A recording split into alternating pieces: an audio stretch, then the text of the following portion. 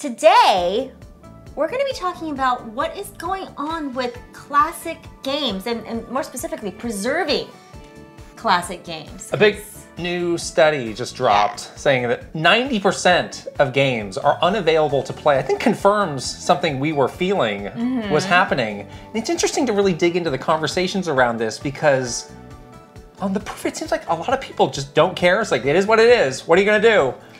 But it's so scary to think about all of these games that are so important to the history of games, to our history as video game players, just being lost forever.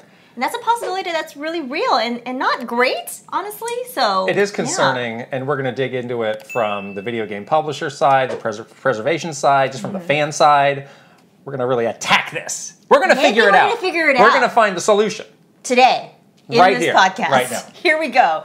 If you want to support us finding the solution to preserving video games and classic video games, join us on patreon.com slash kit and krysta everything that we do here is made possible by our lovely wonderful beautiful patreon family and it's great Sometimes people say, well, if I sign up for this Patreon, what do I get? Well, let me tell you about something cool that we do every week. It's called the bonus Q&A. yes In this podcast, we do about a half dozen questions for everybody to, to hear and listen to, but we do an exclusive additional set of Q&A that we post only for our Patreon subscribers each and every week. very cool perk. That's one of the many cool perks that we have if you're part of our Patreon community. And each and every one of our questions that we get for this podcast and for the bonus Q&A comes from our Patreon community. So if So you have a burning question that you want us to answer, join us on Patreon. That's right. We will answer it Yeah. for you. Um all right. Well, it is the middle of summer now. We are in Peak summer. this tiny room together. We have the air conditioner the going. air conditioning is going. We I'm wearing our- short pants like I'm a lad out of the 1820s. We did learn our lesson from like last summer when we did this. We like try to suffer through like one of the Right. heat, the hot days, the heat wave days without air conditioning. We're like, I gotta preserve the purity of the audio. Then we're like, no one wants that.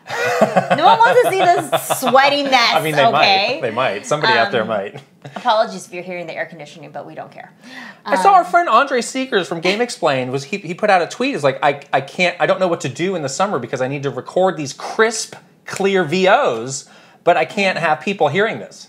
Andre, yes, you can. Take care of yourself. You should not suffer, Andre. We're not suffering. Um, it is 92 degrees today, which is a little, a little hot. Which, which is not that bad compared to other places in the country, we should say. That's true. Right. There is some major crazy heat waves out there. So if you guys are, hopefully you guys are all finding a place to stay cool. You know, Yeah. it's good to just sit in the dark and play a video game as a way to stay cool. So do that. We have some fun summary topics uh, in the podcast. But first of all, I just went on vacation, came back. Mm-hmm. Yes. Now you went on vacation, came back. Yeah. Please give us the highlight, and I always like to ask the low light Oh, the low of your trip. Okay. Well, I did not go on a three week vacation like you did. I went on a three day vacation. You did do a very dramatic uh, internet blackout. I did. I You went to Amish country. Um, sounded great. I went to a uh, I went to a convent for three days. No, just kidding. no, I did. So I do like because we are online so much. I think this doesn't bother you as much And? as it bothers me. and the problem is, Not bothers me, but it just gets a little bit tiring for me. Okay. I think so. I mean, everyone's different when it is this comes to- secretly an escape from me? yes. I can't- I can't- You what figured do I do? out. You figured it out. You finally figured it out. I've been trying not to tell you to your face, but you finally figured it out. I just wanted to get away from you. It's not. Um, yeah, I just needed like a couple of days. I love going up to this is like Big Big Bear Lake area in Southern California, which is quite a bit of a drive from here where we are in San Francisco, but um, really beautiful out there. I go to this place. Um, it's called Getaway. They have these little, sort of these little mini cabins. They're all teeny tiny. It's a tiny cabin It's for a tiny, tiny- person like you. it's a tiny perfect. cabin, but it's nice because it has like everything you need Yeah. in the little tiny cabin. You have a bed, you have like a little cooking area, and most importantly, what I need when I'm like out in nature is a shower and a toilet. Mm. So it has a shower, so that was very very nice. This is Um, not camping. no. No. It's like such baby camping. It's like not even glam. It's like a camping. It's not camping. It's not even camping. Yeah, it's not it's even not cl- remotely close to camping.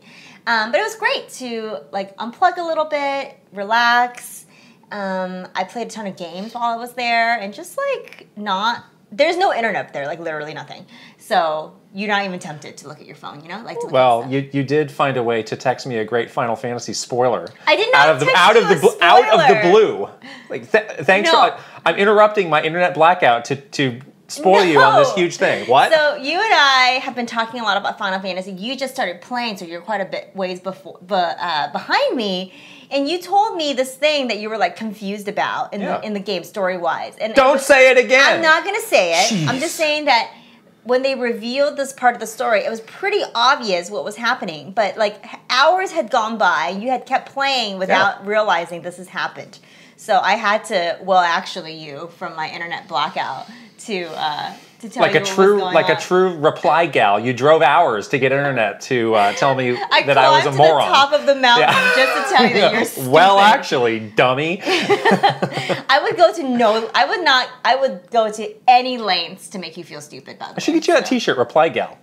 Yeah, you That could be a nice look for you. That's yeah. cute. Okay. I like that. I would wear that shirt. Get it for me. Okay. Um, but yeah, it was great. It was nice. I want to know the low light though. You didn't tell me Oh, the low light. It was really hot up there. Yeah. Like, I was actually worried about you. yeah, it's like it was the hottest day. I think got up to like ninety one. Oh, okay. up there. That's fine.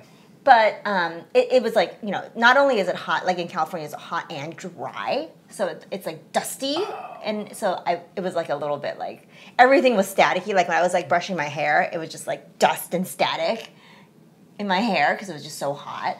The little tiny cabin, because it's not camping, had AC, so it was fine.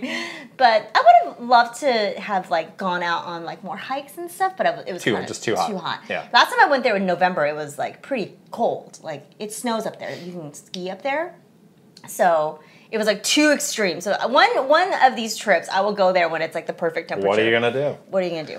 But it was great. I loved it. Uh, so vacation season is over for us. Yes. No more of those. No. Uh, we ain't going anywhere. We have some a lot of stuff upcoming. We have a busy second half of the summer. Busy second Some half. of it you can hear about. Some of it you can't. Yeah, it's exciting uh, at the moment.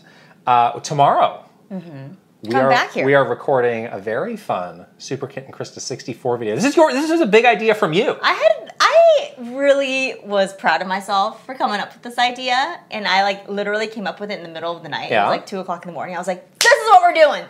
Um, but I have been wanting to go back to one of our cooking videos for Mm. a while. I just I like doing those. You know, it was so fun when we did the Splatoon cooking contest. We You like losing? No. I don't like losing, and also not fair that you gave me a live squid to deal with, and I gave you like a spam. So calm down. It was an octopus. calm down. First of all, Iron Chef Kit Ellis. Um, but uh, yeah, I wanted to go back to our cooking video. We are noted fans of, of cooking and food, and we've done so many cooking videos across Nintendo Minute and obviously, you know, our uh, Super Kit and Krysta 64.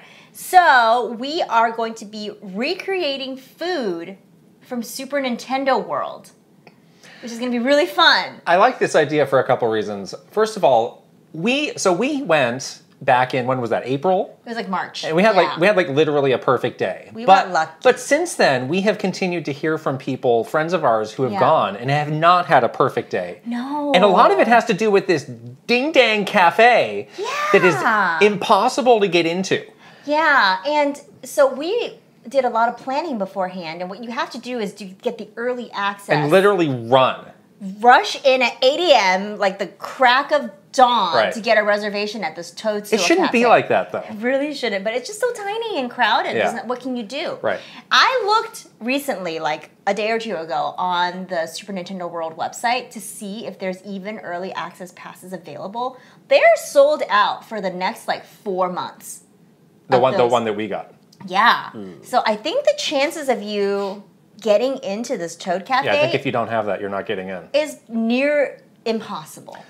So Yeah, there's a lot of there's a lot of like remedy there's a lot of research we did, but it's a lot of things that I don't think if you're just a regular person, you should be penalized for not yeah, knowing. it's true. So it's a bummer. So I feel like this is a good deed that we are doing to the world because it's like this food is like This is stuff that you can do. Like you can add the Mario flourishes. It's not that hard. Yeah. So we're doing a full recreate this experience. three course you. meal, including including one item that was sold out that we yeah, never got. we got we. we I'll were make it myself. ourselves. Yeah, we're we're we missed out. We have a little FOMO here. Yeah. So we're gonna make our own dessert that we did not get at Super Nintendo World. One of the items is actually only available, I believe, at Super Nintendo World in Osaka. Oh. So if you're not going to Osaka, maybe you can just make it at home. I don't know.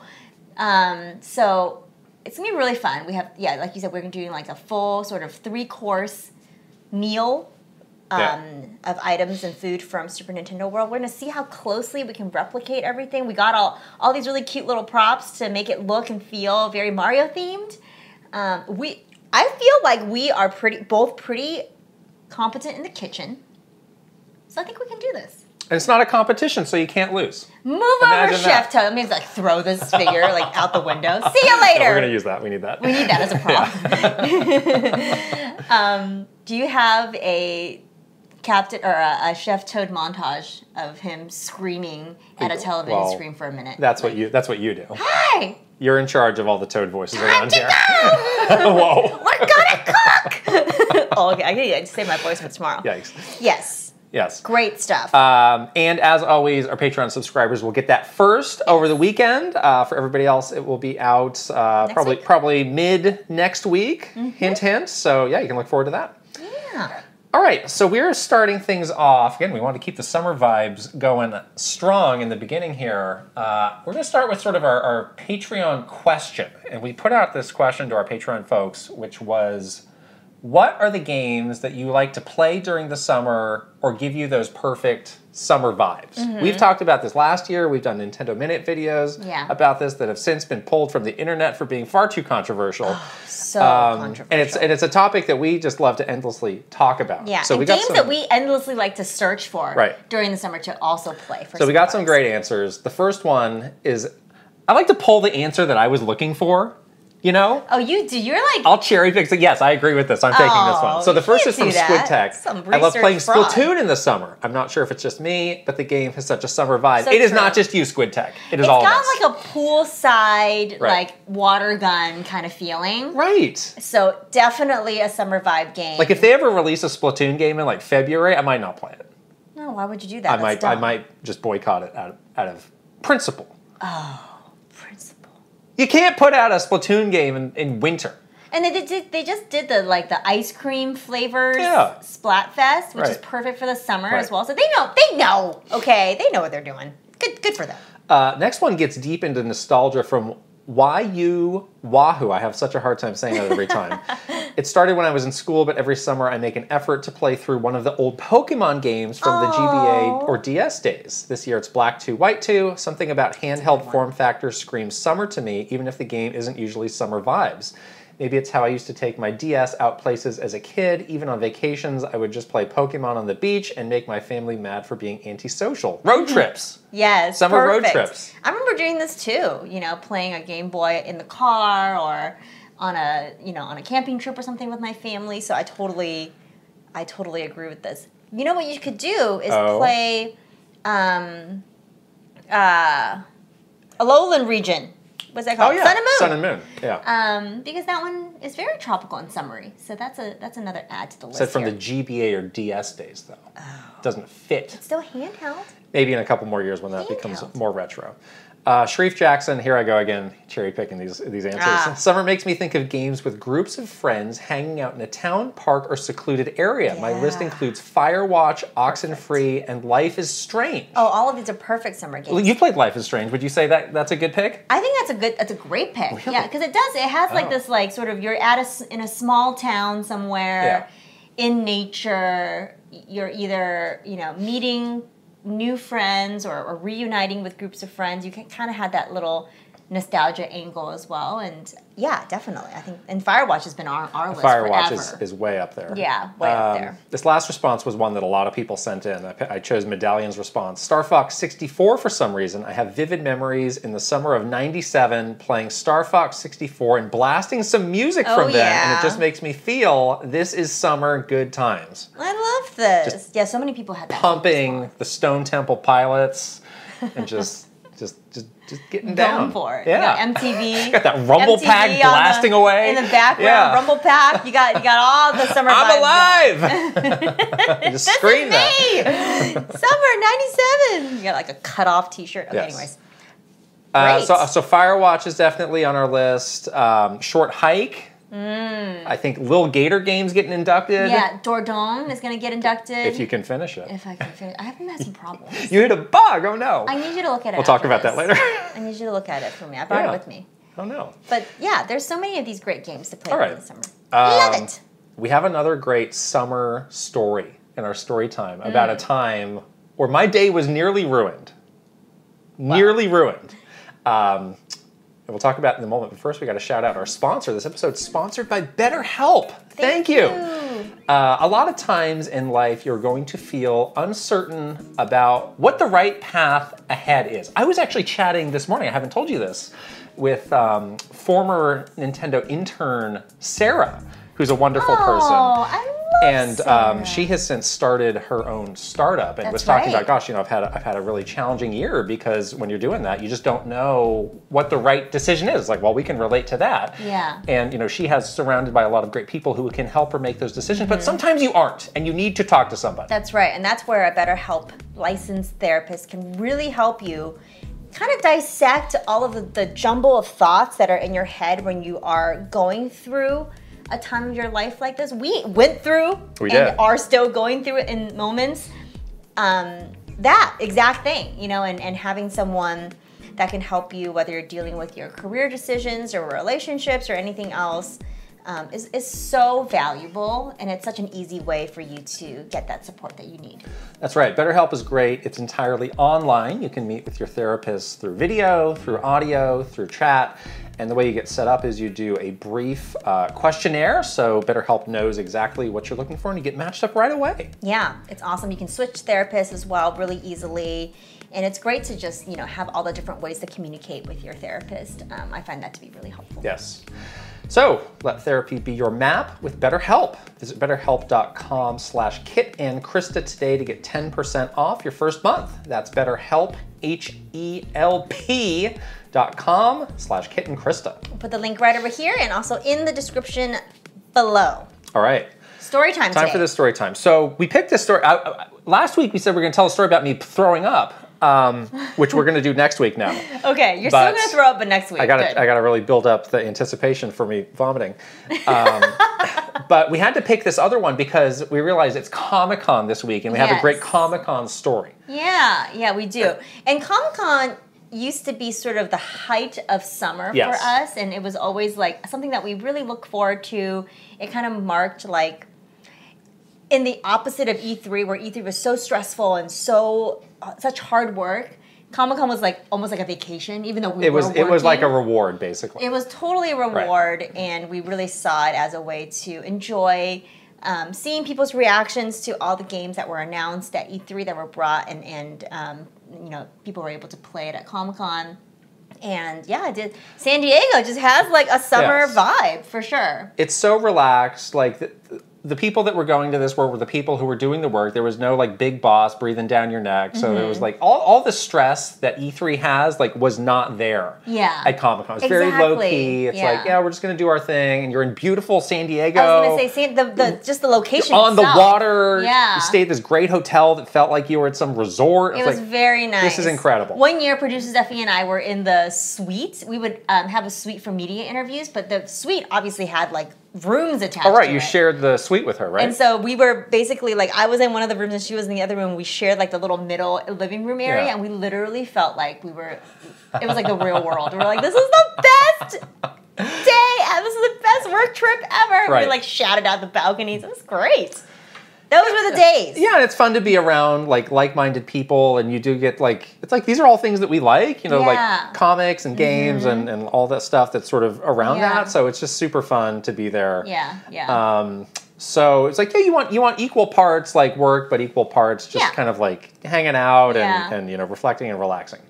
So this was 2017 Comic Con. Um, I remember there was an afternoon where you know we were kind of wrapping up our work for the day. and the conversation with our group had started to turn to like, oh, what are we going to do this afternoon? What are we going to do this evening? And I think it was like, well, you know, let's let's this hotel that we're at, let's get a great pool with a bar next. Let's get grab some drinks by the pool and hang Yeah, out, hang and then you know go on the town, get some nice dinner, hang out, chat, talk. It's like, well, that sounds great. That sounds wonderful. Yeah. Uh, but then I get a phone call. Oh boy.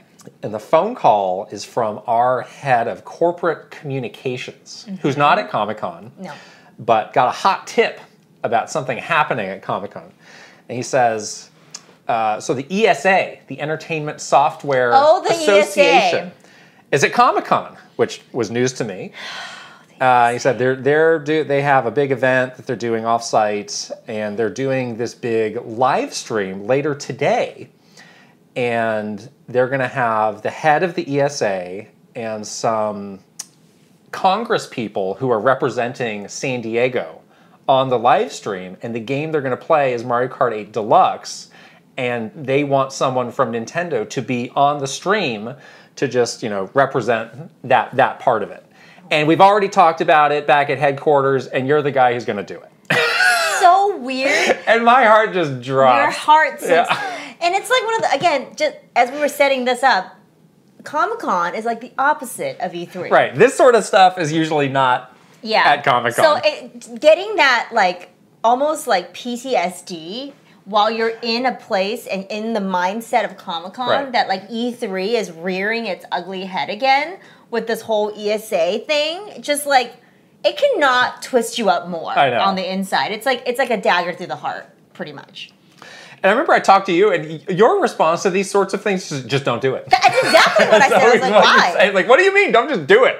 Like, I'm sure, like, Not available. I'm sure there was some conversation with like Reggie or somebody else Don't like, "Yep, he's gonna do it. Have him do it." Reggie, he would never put throwing you under the bus like that. Oh, he doesn't know. Send someone else, anyone else. Who cares? Can go and play Mario Kart. Like anyone. There are so many. There are so many people from a Nintendo there that it was not you. Well, there was no time to debate this. It was like this starting in like two hours, so get out there and, and do it. So it was like, it's like I, I'm not one to pout. I really did start to pout in this case. It's seem like, pretty upset. stinks. You guys are gonna go hang out and have fun. I gotta go to the stupid ESA with some stupid Mario Kart with some dumb congressmen. Oh no, the congressman. It's gonna suck. I hate it. Not gonna vote for them. And but it's like, yeah, there's nothing I can do. How so far away was it from? it was a good. I'm like, it was like an Uber. minutes? Uber. No, it's like it's like 15 minute. okay, but so you had Uber to get in the car and. Oh yeah, it was not like down the street or something. Eh. So I was like, all right, fine. And I'm kind of like looking at the clock. I'm like, well, maybe if everything goes according to plan, I can get back by the time you all are heading out. Yeah, it was still like it was like four ish Yeah, when you like this- left. yeah, 'cause like and we were like, no, well, we felt bad for you because you were like the like the lamb to slaughter basically, and we were basically like, well, go and then we'll like meet you like by the pool or like we- we'll tell you where we are. We end up and you can meet us there whenever you're done. Yeah, so I head out there, and already it's bad. Like they have some events, like it's fine, but it's like, oh, the Congress people are doing something. Like they're running late. Like You don't want to wait I'm already here. running, I'm already getting screwed over here, man. Like, I don't want to do this. I think I have a lot of text messages from you that was like Total- stupid. I Total hate this. whiny, whining Yeah, text messages. there's late. yeah. I'm waiting I here. know. Like, and I'm was so, I, just- I like sat in the couch like, mm, like just gave like a stink face for Pouted. 30 minutes or something. And eventually, like, all right, let's get this stream set up, and it's fine. And so it's the again, it's the head of the ESA. His name is Mike Gallagher. He's no longer there, but he's just like you know Mr. Business. Yeah, And then these two Congress people they're kind of clueless. who it's like yeah. yeah, I mean, yeah, like, they- like you- they like they would be like your dad's friends, you know? Like, oh, God. your dad's friends from work or something. Oh, like, my hey, hey, buddy, hey, hey, guy, hey, look, hey, Hey, Tiger. hey, yeah, you know that, that kind of stuff. Slogger. And they were like, oh, yeah, oh yeah, we have a great interest in the, the video game industry. We're representing the interests of the of the video game developers in our region. Vote Uh-huh. Sure. vote for me. Yeah, vote Um, for me. That kind of stuff. Yeah. And like we do the stream place, like they're terrible. They don't know what they're talking about. yeah, I did watch Um, this. So you watched it. So this was called Gov Games, which is an important detail. and it's on. And I, I do appreciate that you um, were watching the stream. So what was your experience My of watching this? experience was that this is extremely stupid and awkward. and it was the, okay. The way that they set it up, I would never forget this, which was like just bizarre. Like usually when you do like a gameplay stream or you're just playing like a let's play, everyone's like seated on the couch or Yeah. you're just chilling. You you know you're very relaxed. But like they had these like this weird setup where like the Congress people are sort of in the front on these like stools, and they had you like I was like standing in the back behind or something. Because who cares about me? I'm just there to play this game. Why did you have to go? um, let me tell you the viewership numbers for this stream. Okay, as, as I I was one. put, mentally guess how many people you think Yeah, were you, watching. okay, I'm gonna pause for two seconds. Yeah. You got y'all mentally guess what you think the live stream numbers were. Now remember, I was watching, so I was one of the people. Okay, here we go. The number is three. Okay, so me One was you. and two other people. Two was probably the guy who told me to do this. Yeah, and then one was like somebody else. I don't know. How many? Do you you put a link here for this? Well, So, so I found. So I was trying to find the archive of the stream Yeah. just to like jog my memory. I couldn't find that. I did find these pictures from this politician's Facebook page. Oh my god, how creepy and weird. Um, this is the only record that I found of this Okay. that exists. I'm glad something exists. That it wasn't just me like having a fever dream. no, I was there. I um, was. I was. I saw you there. but yeah, so the stream was, the stream was lame. The stream was terrible. Um, immediately when it stopped, I got in the car and came back, and I, I did. You made it. I was able to meet up with you guys before you head out, but that was valuable, fun time that I'll never Could get have been in the pool, Gone forever. but instead you had to go do a stream for three people, and this is why E3 failed. This is the ESA at work. I'm telling you, when they rear their ugly head during fun times, you know that your life is over. Okay, so this is a great example of that. Yeah. you were very upset. um, we we remedied that with a delicious pina colada by the pool. So there we go. But um, I, I felt for you. Yeah. I felt I made fun of you, but I felt for you. That's the story. So we're not going to Comic Con this year. Uh, Yeah. Next year, I think we're going to try and make up some reason to go. Because it's like this year, it's like yeah, we don't really have a reason to go. There's also this Yeah. big strike happening. So it's like, what is Comic Con going to be like this year? Yeah, the Um, strike is might be a bit more low key. Yeah.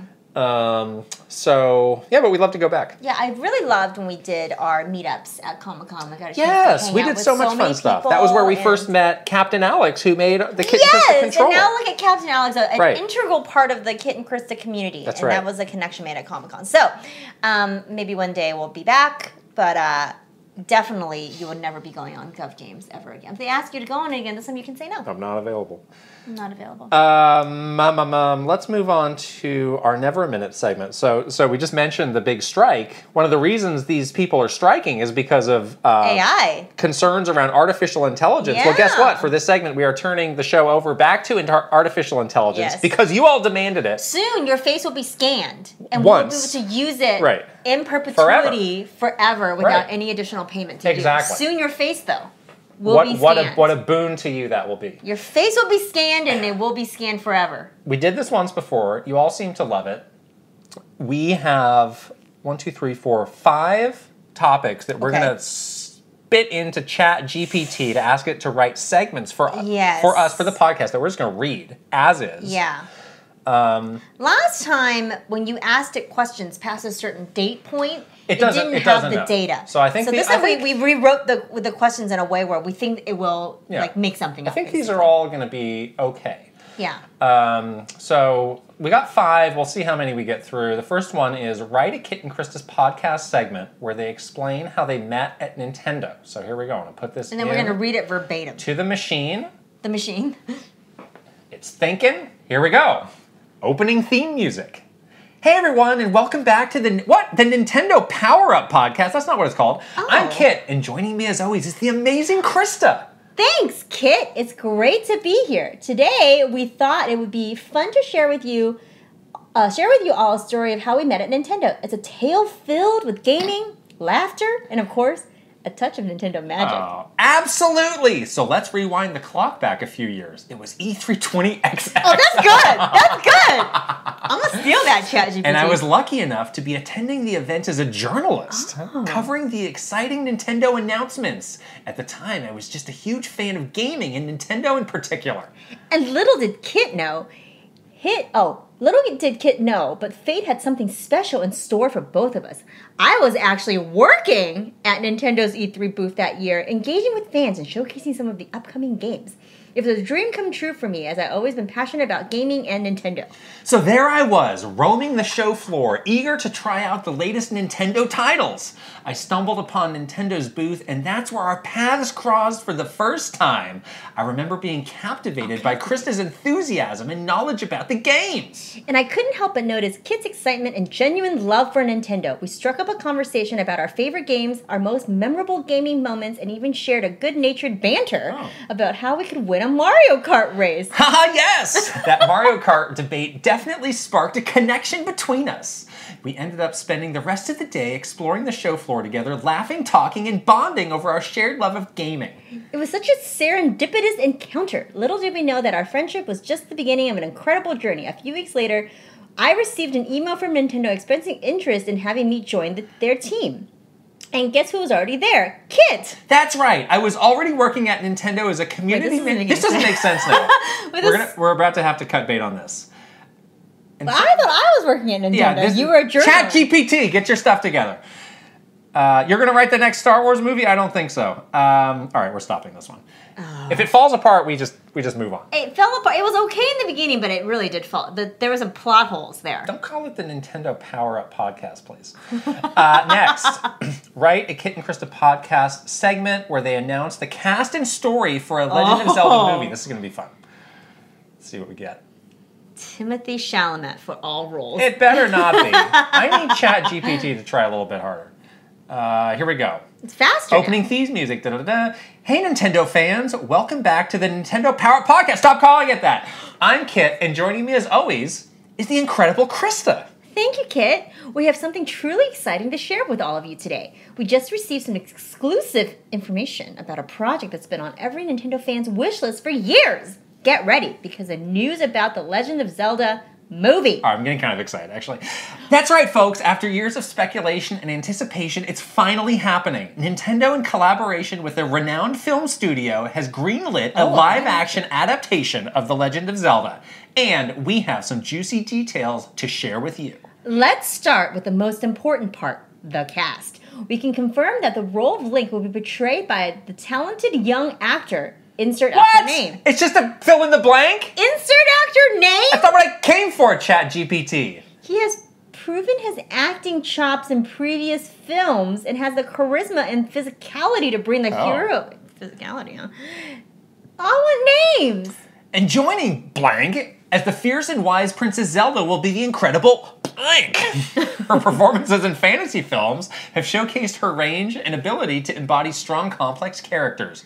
We can't wait to see her take on the iconic princess. But wait, I'm, there's cut- I'm cutting this one off. Wait, This- ask it. Ask it. What? Fill in the names of the actors oh. and see if we'll do I it. can't do that. Uh, let's see. Uh, la, la, la. Oh, Timothée Chalamet. Baby. Okay. What Oh, I'll say. Anya Taylor Joy as Zelda. oh, because she's already a princess in the Mario game. All right, keep going, keep going, keep going, keep going. Okay, so wait, Right here, right here, right here. But wait, there's more. The villainous Ganondorf will be portrayed by the brilliant Idris Elba, known for his commanding presence on stage. State, uh, I'm sorry, on screen. He has the gravitas and intensity to make Ganondorf truly a formidable adversary. Absolutely, Krysta. And let's not forget about the rest of the supporting cast. We have Tilda Swinton stepping in as the role of the wise Oh. sage Impa, Tom Holland as the mischievous Tingle. what? The casting choices Oh for this movie God. are truly exciting and promise to bring the beloved characters of The Legend of Zelda to life in a new and captivating way. Wow. Am I keep? Am I still going? Well, well, let's let's get the story real fast. Okay, now onto the story. The film will take the uh, will take inspiration from the rich lore of the Legend of Zelda series, exploring the timeless battle between good and evil, the quest for the Triforce, and the journey of our hero Link as he sets out to save Hyrule from darkness. Shocking. Um, That's good that they filled in the, the actors. I like that. Timothée Chalamet as Tingle. Wow. No, as Link. excuse me, as Link, but Tom Holland As Tingle. Wow, That's- that is a casting twist that I was not expecting. wow. All right, next, Write a Kit and Krysta podcast segment talking about new Nintendo slogans in the spirit of surprise and delight and smiles on faces. Get ready to puke. Here we go. Opening theme music, da da da. Welcome back, Nintendo fans, to another exciting episode of the Nintendo Power Up Podcast. I'm Kit, and as always, I'm joined by the fabulous Krysta.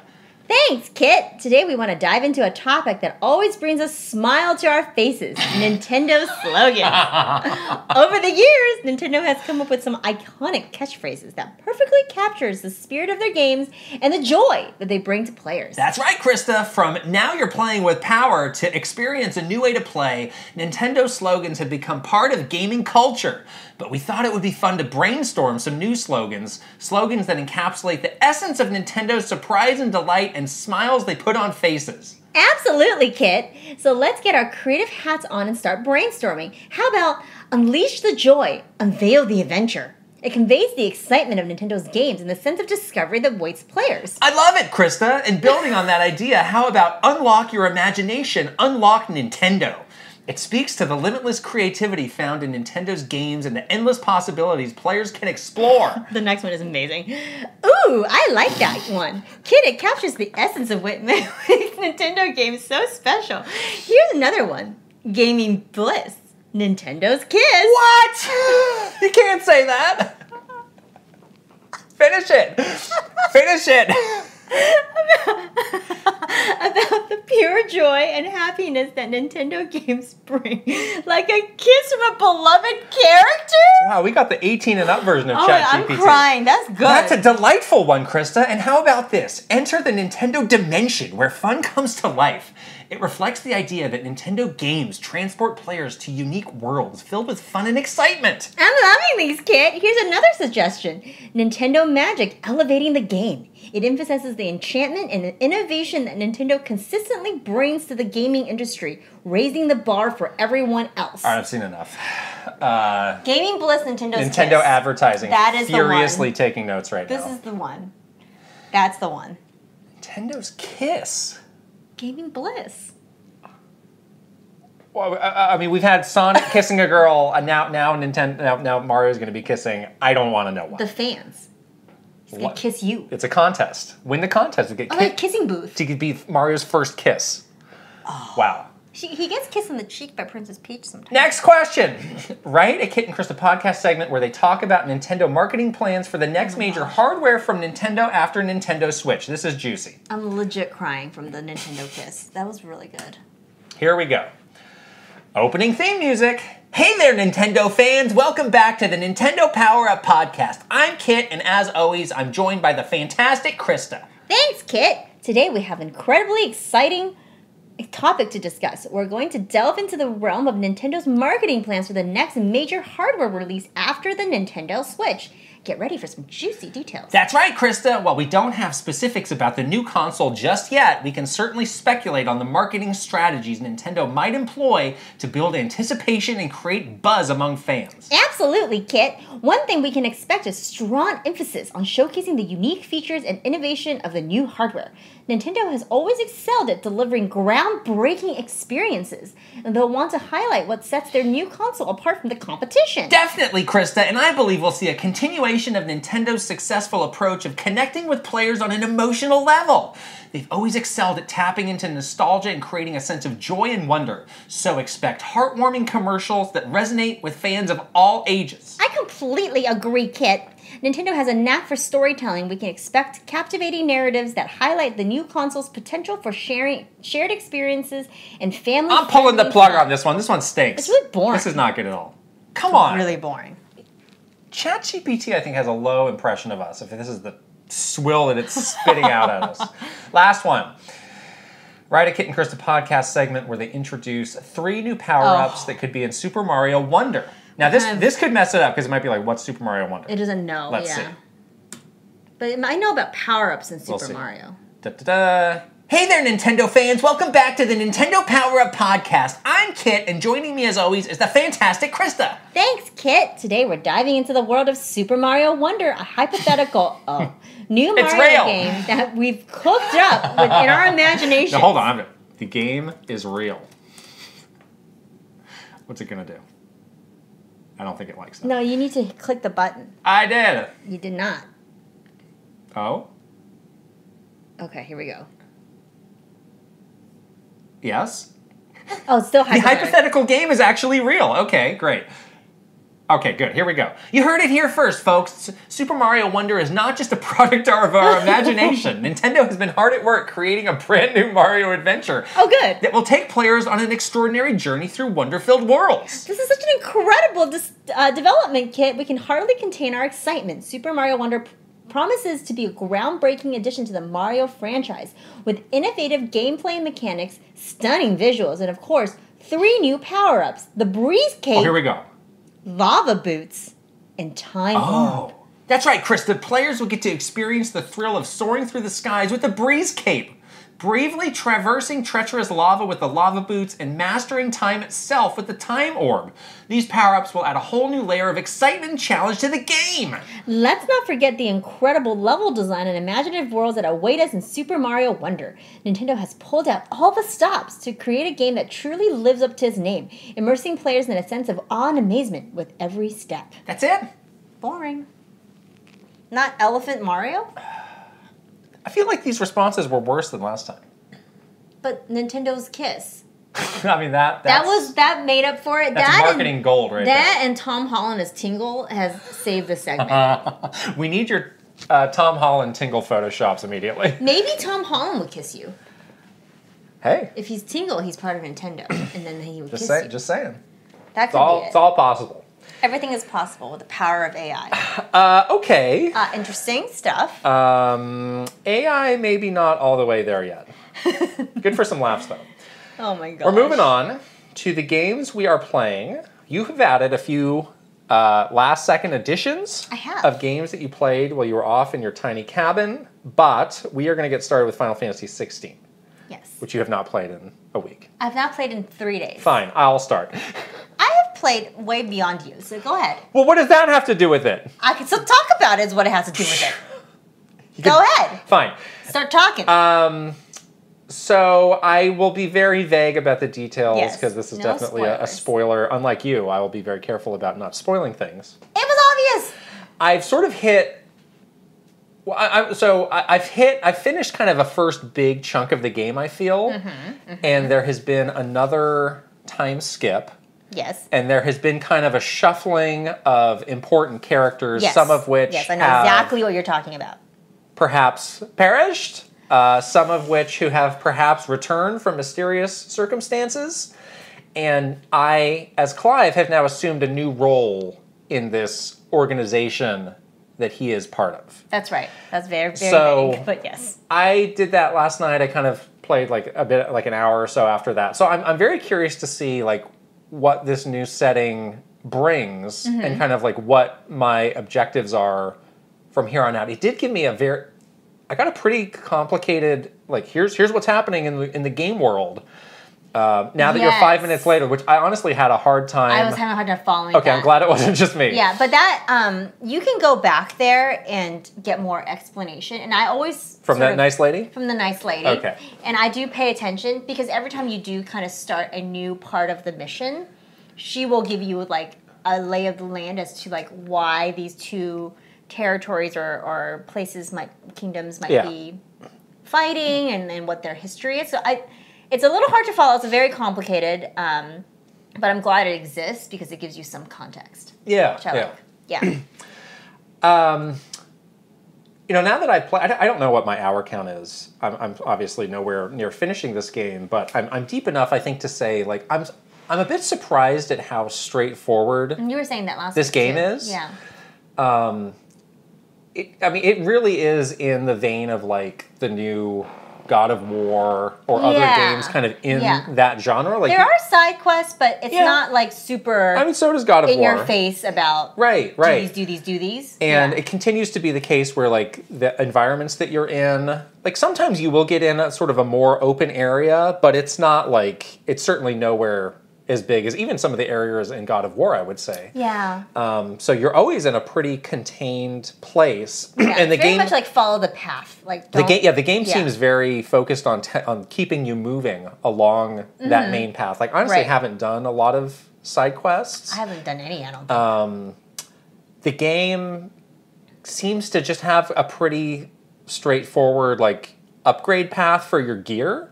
Like Mm-hmm. I don't have a lot of options. It's just like, oh well, I got the thing to make the next better sword, so I'm going to do that. Yeah. It's not like, oh, I have five swords And you're to not choose like from. overwhelmed really by the different options. no, and I, or I, I've literally never found anything like that in a treasure chest. that. yeah, the treasure chests are So it's just light. like it just is what it is. yeah, and I haven't changed my armor since like the last big part of Right. Even like sometimes I'll I'll, like uh, I'll finish a big question. I'll go back to the main The hub and the shop, and it's like, oh, we don't have anything new. Yeah, yeah, So, exactly. I- the only I- thing I've upgraded is my sword. I think. Right. That's the main thing that there's pretty consistent upgrades for. But there is only like one sword. Yeah. So that is something that I'm. I, I don't want people to think like, oh, I hate and I hate this. It's just a different direction than I expected. Yeah, um, For the next main Final Fantasy. it definitely has game. like way less of those. I, I kind of equate those things to more of like the RPG part of games Yeah. or Final Fantasy games, I guess. So I think they've removed a lot of sort of those things, Yeah. for better or worse. You know. Yeah, I mean that said, like I, every day I'm very motivated to keep playing this game, and yeah. and I think the story is The very story is very the story is very well done, and they do a good job of like dropping breadcrumbs. There's always some new little thing of like, oh, I want, I want to Yeah. learn more about that, or what's that about, or Yeah. I, or I want to uncover this mystery. I really like the next part that you're about to Hmm. play because there's a returning character that I was really curious about after playing the demo, which is Clive's mother, who is Stop with the spoilers. well. I mean, you you're gonna. It's pretty again. I mean, it's, she exists obviously from the demo, so Okay. so yeah. So it's like those those things where they have like planted the seeds of the different Yeah. characters in the early part of the game, and like you kind of getting a sense of like, oh, when am I going to run into that person again? Like Mm-hmm. they seem important to the story. They seem to have like a lot of you know different motivations um, and could affect the story in different ways. Like I really like that. I think those are the kind of the breadcrumbs that you're talking about, and like sort of like you you are really motivated to learn more about like where are these characters now? What Yeah. have they been up to, bad or good? You know. Mm-hmm. So I really I really like that. So you'll you'll kind of see more of that coming up. Yeah. So like now that I. have that experience like i can understand the debates that have been happening online Yeah. a little bit better of like you know i can understand why some fans don't like this direction Right. and, and want a more baroque sort of game that's got all sorts of other bells and whistles and other stuff to do Yeah, yeah. that you might find in, in a previous final fantasy game It definitely feels different than a Final um, Fantasy. yeah, I mean, for me, I, I it doesn't bother me that much. Um, I mean, the combat's very good. It's very fun. I like that. Um, I that that thing I was talking about last week of like now that I have all these powers that you kind of cycle through. I was where I was like, oh, that that sounds like a handful. It hasn't been that bad. Um, it, it, it hasn't been overwhelming. Um, I think the difficulty's been fine. I haven't really found anything that's like super frustrating or, or super hard. Um, you do do the battles where you become the the icon, which is basically the big summon, yeah. and you do those, and those are those are fun. You don't do that many of those. Those are fun when you do them. Mm-hmm. Yeah, they make Um, it feel special because they don't like overdo it. Yeah. Because then you you feel like it's a really significant part of the you know part of that boss fight or something like that. And you feel very powerful. Yeah, Obviously, yeah. when you're the icon. Um, all the performances in the game are really good. Um, the, the character that I lost, uh, I was I was really sad because I really liked the performance.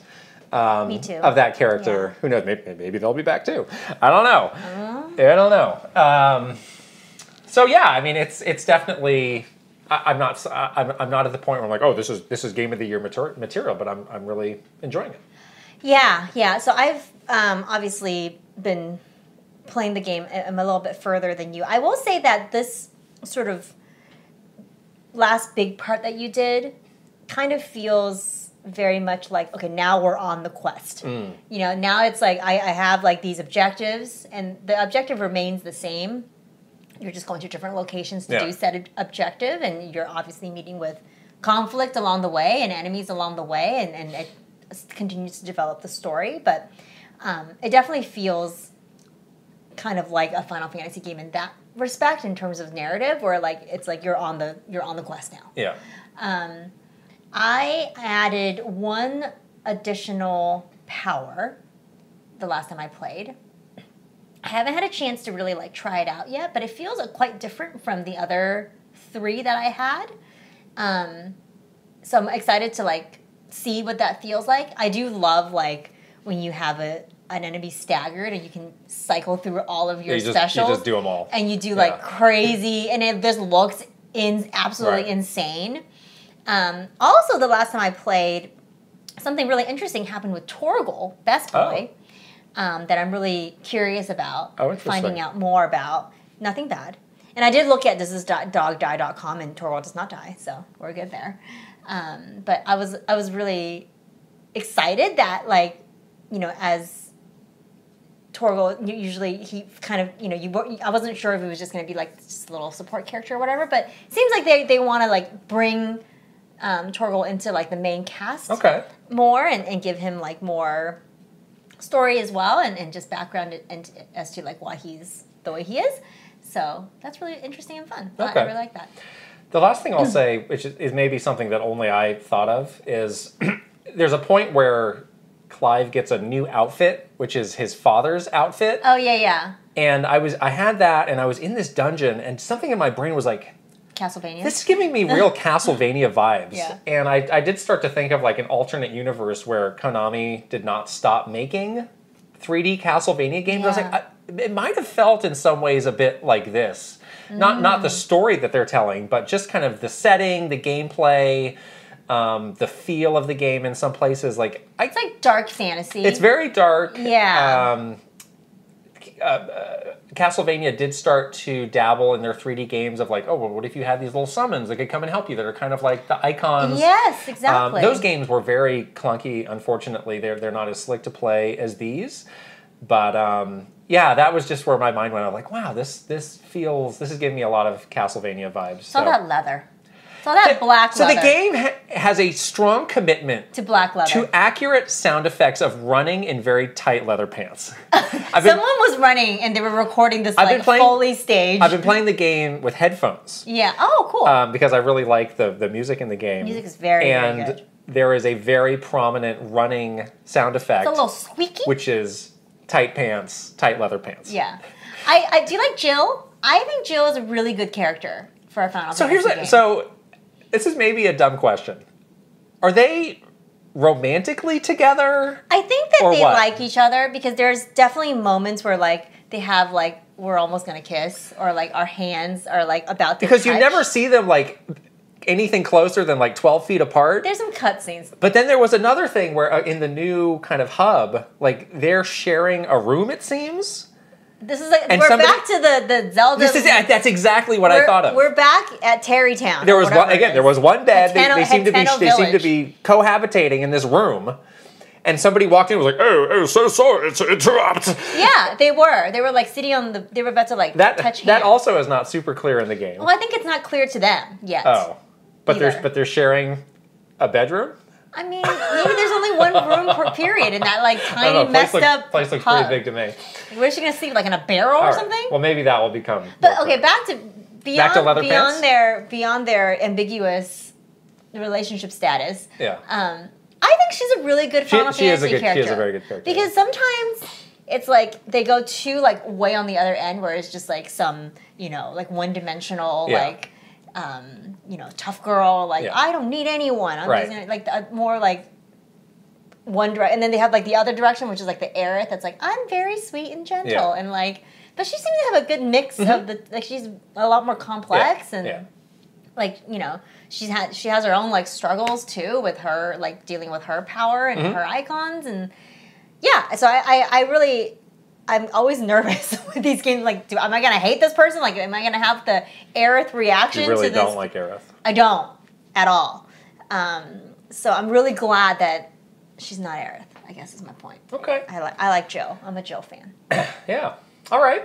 Uh, we got to attend a virtual preview for Venba, which is a game that is coming out soon that we're both uh, excited for. Oh my gosh, this preview made me so hungry. like I could not stop thinking about like getting a dosa after for like hours later. I'm like, I really need to go get some dosa.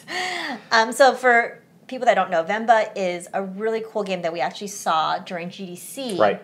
It is a narrative game, but told through cooking, and all of the um, food is from South India. Right. Um, I think it's called like the Tamil region. Right. Um, It's like a family that immigrated to Canada. Yes, and from it- South and India. it's told over some period of years. Right, right, Right. And it's it's really the story is very heartwarming. It has a lot of like elements of what it feels like to be, you know, a family that immigrates from your home country to a foreign place. Like my family did that, so I, I really connected to that story. And I, I the, when the uh, the I guess it was the producer um, was telling us about kind of what motivated the story and, and how a lot of immigrant families um, tell like their family history through food.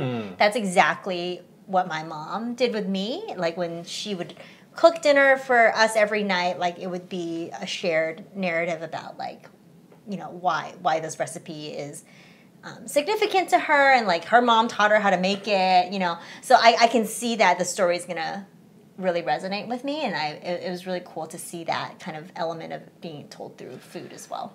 There was a detail in there that I thought was really interesting that I wanted to get your take on, which was so the characters are bilingual, and in the game, like there's different colors of the text boxes to indicate what language they're speaking, whether it's Mm-hmm. English or their native tongue. Yeah. And they were saying like when you're playing the child who's growing up in Canada, when it's in the native tongue, it's it's more like the the words come out kind of like more slowly because Yeah. they're not as well versed in that. Yeah. And I wondering if- about your experience about that because like I've heard you go talk you know Chinese to your mom downstairs. Like, Yeah.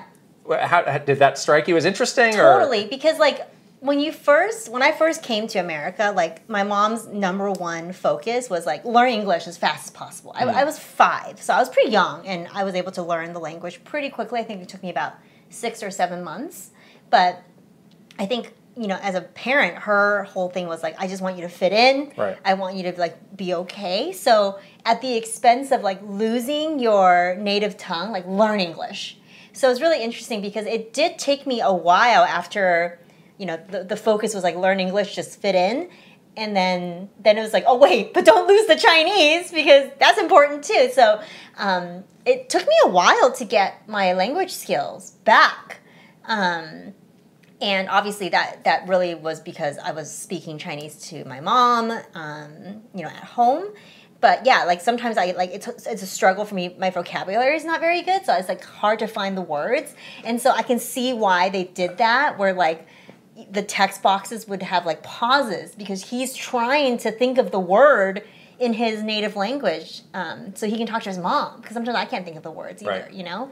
So it's really interesting. Yeah, I thought that was interesting little detail. Um, they were talking about like the approach to the cooking, like they didn't want it to be a cooking mama type game, yeah. and it's kind of structured like a puzzle where you have the recipe, but like oh, there was a splash of something on this, and now I can't read the words, and you have to like figure it out. And when we were playing the game, we were both really surprised by that because Yeah. when we when we sat down to play the game, no one told us like what to expect. Um, and when we opened the recipe, I was expecting to see like list of ingredients, list of instructions, Yeah. but like we struggled to put together that first recipe, and we failed several times. And every time you fail, it like kind of updates the recipe to what you may need to do differently. So I, I like that as well. It's like very experimental and less less of like you know, follow these instructions Yeah. as fast as possible to get a dish. then they were saying, you know, they themselves as the developers cooked every dish that's in the game, which I think is important Yeah. research, and um, you know, you can really get get that sense of like personalization and like attention to detail Mm-hmm. that's reflected in the recipes. I think that's what what made us hungry. It was like, wow, this is like the real Yeah. thing, not just some like fake video game version. That made me hungry, and I thought it was awesome that the sound, the, the sound director that did all the sound was basically cooking in real life and just had like a microphone. Right. Like they made their a foley stage like in their kitchen basically, and she was just like toasting mustard seeds, and as it like crackles, it was recording the Yeah. sound. And the, the producer was saying like there was one recipe where she cooked. They just they didn't do any edits. They just laid the sound over and worked perfectly. Yeah. It's amazing. Like honestly, like just incredible amount of detail and love that Yeah. you can tell went into this game, and we're both super excited to play it when it comes out. Um, maybe we'll try to make one of the recipes because if it's that good, like we could pr- probably recreate it. Yeah. Yeah, the food looks incredible as well. Uh, a game you played while you were gone is Return to Monkey Island. Is that the full name? It is, yeah. So this is the one that came out I think last September, and it's been on my like backlog for a long time. I'm a huge fan of the Monkey Island games. I've played through several of them in Oh. the past. I like the point and click kind of games too, and it's been a while since I've played one of the Monkey Island games. Um, but yeah, since I was out on my lovely uh, cabin vacation, I basically was able to play the the entire game, like I beginning to end. It was not super long, and it's such a good game. Like seriously, if you are a fan of like narrative puzzle games, um, this you have to check this game out. It is so good. The story is so fun and funny. I was like legit laughing out loud at some of the ridiculous, you know, things that that was happening in the game, and also just the way that the narrative, the, the writing was done. Um, the puzzles are not super hard, you know, but they feel really satisfying when you solve them. And it's really cute because how they structure the game is like it's like a dad telling his son the story about Monkey Island and finding the secret to Monkey Island. And so like every once in a while you'll get like an you kind of you're so you're in the story and then every once in a while you kind of get pulled out of the story and you're back on like the park bench with the dad and the kid and the kid has like some ridiculous question like wait a second you didn't explain this part and then you would kind of get brought back into the game but it's a really good way I thought of sort of pacing the story. Um, but yeah, I really loved it, and I really recommend it. So go play it. Cool. It's on Switch. And then you also played Dordogne, but you got stuck on a bug. I know. Oh no. So after I Well, what did you think of it uh, up to that point? Dordogne is so so good, and it's everything that you said. You know, the, the art style is. It's so hard to describe it unless you've seen It's it. incredible. but it's absolutely incredible and something I've literally never seen before. Yeah. The just the opening scene. The opening scene is like you're sort of at this like rainy truck stop on your Yes, way to that was very striking. to the village. Cur- current day. yeah, current day. Right, like the, you're, dr- the- you're- your dreary life yeah, now. Adult Mimi Yeah. is like in this like sort of dreary, rainy truck stop on, on the way to uh, her grandmother's house. And the way that they did the water, the rain splashes, I was like, my mind could not, like, I was like, how, how? Because it, it because it's the watercolor style, right? So, like, as the water, the rainwater would hit the, like, the colored parts of the screen, it would, like, do that thing with watercolors where the paint would sort of, like, bleed. yeah, yeah. I was like, what is happening here? This is so imaginative and beautiful. Um, so, anyways, I I, pl- I got up to like chapter six, so I was like kind of far in, you know, like hours had gone by, and um, I was really really loving the game so far. There's definitely something like kind of mysterious happening as well. Yeah. The family history is Yeah. really interesting. I can I'm starting to piece together, you know, maybe what is happening um, as you like explore uh, the house and the village and kind of regain your memories from when you spent the summer there as a kid. Um, and there's this part in the cave where you have to press the A button to climb up a wall. It doesn't work. I can't climb up the wall.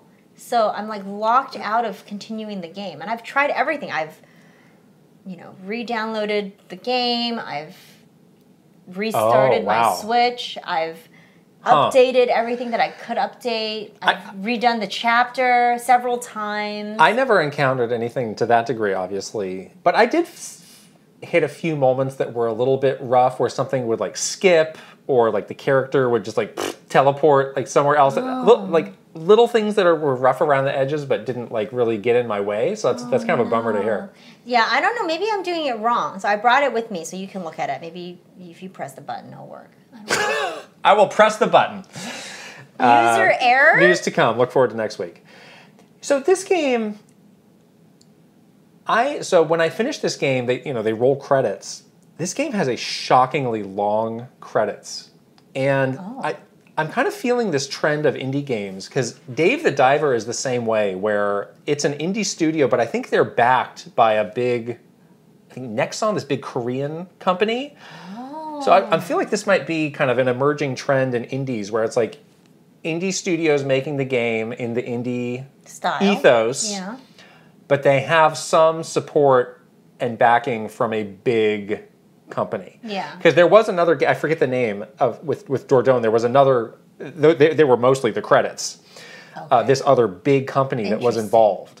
So Yeah, I remember there's like three companies that were listed in the beginning. right. One is this indie studio for sure Yeah. because it has like the, the French so name. Yeah. that's something I'm going to keep an eye on and just see like is this really a trend and like how are these companies involved like and hopefully they're very hands off. But maybe they give them support in like QA and, and things like You'd that hope where so, you yeah. As an indie de- indie studio and developer you might need that Yeah, kind of support. yeah, it's something I'm sort of eager to, to look at a little bit more closely. Yeah. That I play these two games back to back and they both have that. Oh, if I can't continue, I have to watch the ending because You're, yeah, you were getting close-ish to I want to know what end. happened. yeah, yeah. I don't think I should, I can start it. It's like what happened to me in, in Like a Dragon. You just watch the end on, on YouTube. I might have to watch it on YouTube. Yeah. Oh well. Oh, so good though. It's so beautiful. It is. It is good. I'm, I'm glad you played it. Um, let's move on to the news and start with this great big topic that we were talking about at the top. So our friends at uh, the Video Game History Foundation put out this big study. Yeah. Um, and we heard heard rumblings from them that they were working on this and they were taking it very seriously. Um, and you should all watch our vlog of visiting the Video Game History Foundation, by the way. But basically, the, the takeaway from this study is that 80%, per, 87% of all retro games are unavailable to play. Um, it's a shocking number. And this chart that they have here, kind of tracking it by decade, or it's not, it's, I guess it's every five years, is interesting because it's not like, it's like, oh, it's not just the really old stuff. It's like literally everything from 2009 back. Right. Like very small amounts of those are available. It said no, no period has more than 20% uh, represented, meaning like legitimately available to play now. Yeah. And the interesting thing too is like usually you see some sort of trajectory with these kinds of graphs. Like you would think that, you know, maybe there's more technology to or some other way to preserve these, but that's not the case at all. It's like very up and down, very sporadic, like Right. what, what percentage is available to play. Right. Um, the Game Boy was specifically a platform that they called out as, as having a big problem where there were almost 2,000 Game Boy games released, and there are currently only 25 Oh available. Oh my goodness. Um, and they said there used to be quite a few um, that were available with the Virtual Console, or excuse me, with the yeah the 3DS and Wii U Virtual Console, which are now gone. right. So you can make a little bit of progress, but that can be fleeting depending on what Right. these companies eventually want to do. Um, Hmm. It seems you know you kind of like want to get at like okay is there a solution that they're putting out there and it seems to be you know their proposed solution is is giving libraries the opportunity to digitally share games yeah. um, which I think is an interesting idea. I mean, that is the purpose of libraries. If you go to a library, like you can rent a movie, you can rent a music album. yeah. So, like, why can't there be this continuation of that mindset where this is the new medium of entertainment, um, which should be available to all people this way? But there are um, laws in place, basically, to prevent that. And they specifically call out the ESA. Again, the ESA, once again, Ruining as, everything. as not really being supportive of this. So the ESA actually had a statement, which I'll just read. Um, the ESA says it and its member companies are committed to and actively support professional efforts to preserve video games and do so in ways that do not jeopardize future economic opportunity for their creative works. The game industry's creative and economic vitality depend on strong copyright protections. So that's a great non-answer um, from the ESA, which you know very clearly lays out their motivation, which is Money. we, you know, it's up to the companies to decide. Yeah. We will support and enforce approaches um, which let the companies make the most possible money off of these yeah, things. it's money. Yeah. Right. So this study did get a lot of discussion going. Um, there was a lot of coverage. You know, when, when we first heard from Frank, he was like, "Yeah, I, I hope that this becomes a big story because this is kind of the rallying cry of of why we exist as an organization." But some of the follow up discussion was pretty interesting Yeah. in that I think they were a little bit surprised to hit this sort of wall of apathy from certain segments of fan who are in the emulation community or who use emulation. It was like, we have emulation, who cares? This is this is the this is the solution. This is the path. And Frank sort of lays out like the reasons why that's not a mass long-term solution because a lot of people there's a lot of hoops to jump through. A lot of people don't want to do that. A lot of people have other you know challenges or issues. And you know a lot of people spoke up saying like yeah i work at a game studio and like i'll bring up emulation to somebody who works in development. They're like oh that's just a big headache. I don't want to get into that. Right. so um, you know to say to to compare the ease of use of going to a library versus setting up an emulator is, is a big difference. Yeah, and there's always, if you think about it too, like, I know this is a debatable topic, but emulation and the idea of emulation for companies, for, you know, video game companies, is that it's linked closely to piracy. right. And I think if you go down a route where the only way to preserve is through non legal and non sanctioned means, it hurts you. Right. Because that means the companies will not be on board with the solution. And then it becomes if it becomes the only solution, then it, it it's just so difficult to gain any kind of legit, legitimacy over like actual pre- preservation Right. you know so yeah that that part is really really tough because i think a lot of people see this as like the easy solution right now because they know how to do it and it, it's easy for them to do it but Right. I think long term it's it might hurt um, the actual you know ability to to do these kinds of actual pres- preservation with the blessing of these companies Right. Like I, I don't have a horse in the race anymore. Like I don't really care about the emulation debate. Yeah, I, I do have basically the equivalent of like Catholic guilt though when I think about something like that, where it's like I have been I have been at Nintendo for so long that like I just have like a mental block on that Yeah, topic. sure. That I realize other people do Don't. not. Yeah. So that's just my own my own problem. But yeah, I think like a lot of a lot of people use the shield of emulation to mask the piracy that is happening. Like people Yeah. like people who are like, oh well, I just downloaded uh, Tears of the Kingdom early. I'll definitely buy it when it comes out on Switch. Wink, wink. Right. Like, like follow up. How many of those people actually did? yeah, Uh, and yeah, that's I mean, an, and that's an extreme extreme case. right Um, But yeah, in some cases, like like like we're talking about with this study, like that is currently the only way if you wanted to experience some of these games. Yeah. That might be it. that might be it Right. And then so the ESA was sort of hinting at the, you know, the industry side of things, which is like they don't have a lot of motivation to do this. Um, I think you know the people who are really actively wanting this and lamenting this is unfortunately not that big. Um, they're always going to want to hold the option to put these Release things out on out sale at a time that is beneficial way. for them versus like oh yeah every library in america can share you know every library in America can share Super Mario RPG, the original. It's like, oh well, no, we're making a, a big new remake. We need that to be the version that people buy, People buy, and get right. excited for because that needs to be the only thing. Yeah, because these business decisions are motivating, you know, the the preservation decisions Right. versus it being like let's preserve this like art form. So they're holding that option.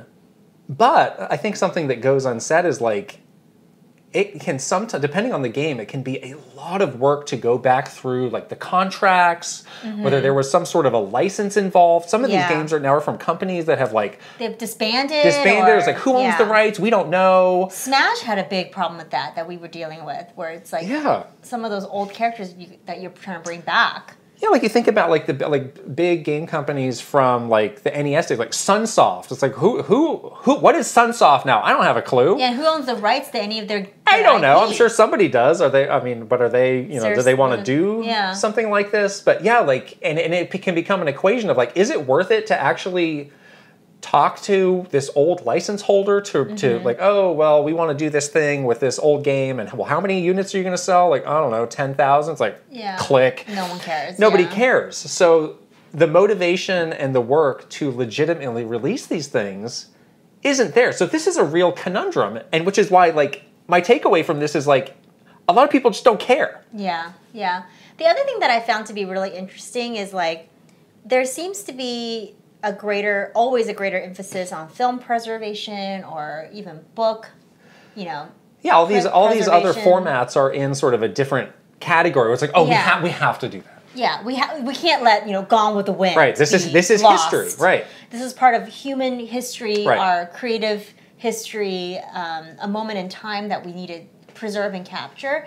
I wonder why video games hasn't really transitioned in that way in people's minds. Well, I think we we sort of asked Frank that, and his his feeling was like it's just so new that nobody's Mm-hmm. mind is really shifting into that. It's like everybody like a lot of people still have the physical thing.